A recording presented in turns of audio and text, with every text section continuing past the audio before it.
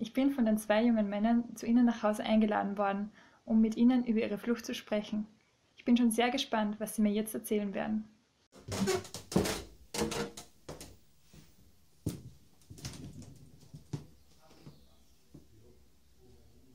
Danke Kamran, danke Salomon, dass ihr euch Zeit nehmt und mit uns das Interview macht. Mhm. Dann komme ich gleich zur ersten Frage. Was habt ihr gemacht, bevor dass ihr nach Österreich gekommen seid? Wir haben zusammen als Bauingenieur studiert und zusammen als äh, Bauingenieur gearbeitet. Und äh, wir haben auch als Architekter und auch äh, viele verschiedene Ausbildungen gemacht. Und was war der Grund, dass ihr Iran verlassen habt und nach Österreich gekommen seid? Äh, das Problem äh, war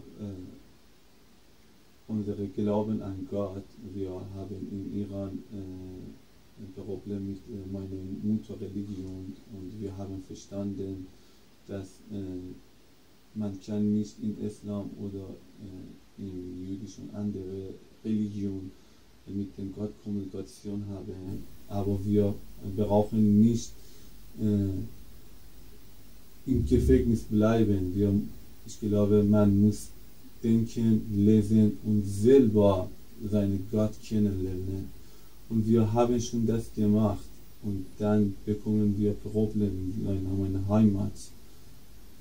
Du kannst an alles glauben, aber ohne sprechen. Aber wir brauchen mit allen Leuten über echte Gott sprechen. Und wir haben auch das gemacht in Iran. Mit vielen Leuten haben wir gesprochen. Dann wir bekommen viele Probleme und Polizei hat uns gesucht. Deswegen haben wir geflüchtet. Das ist, also es ist ein Problem, dass ihr keine Muslime mehr seid, sondern dass ihr Christen seid, dann werdet ihr. Hm. Ja, in Iran hat äh, keine Religionsfreiheit. Man muss nur im Islam bleiben. Vor Armenier ist keine Problem oder Jüdisch, weil seine ihre Mutterreligion ist äh, jüdisch oder Christian.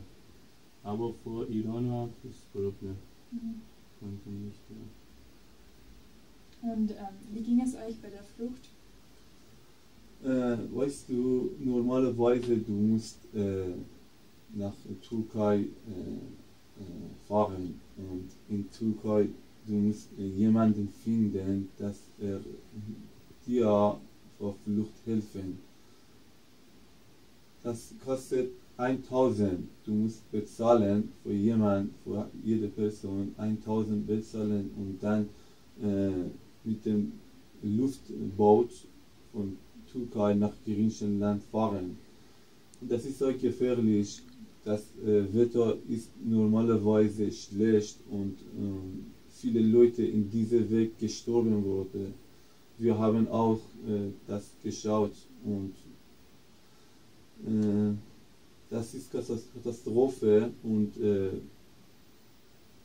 viele Leute äh, konnten nicht nach Europa eingekommen. Und, aber Gott hat uns geholfen und wir haben, wir haben das gemacht.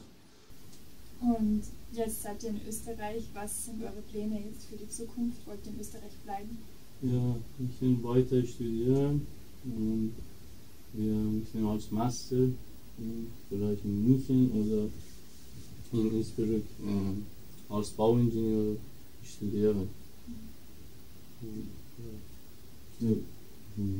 ja. wir konnten nicht mehr nach unserer Heimat zurückkommen, deswegen wir brauchen hier weiter studieren und arbeiten.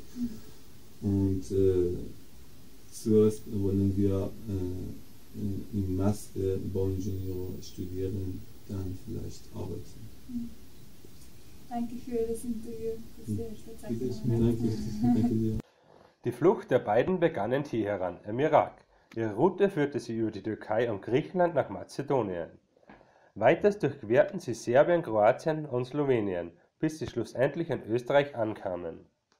Wie bereits der deutsche Schriftsteller Johann Gottfried Säume sagte, wo man Gefahr nicht besiegen kann, ist Flucht der Sieg.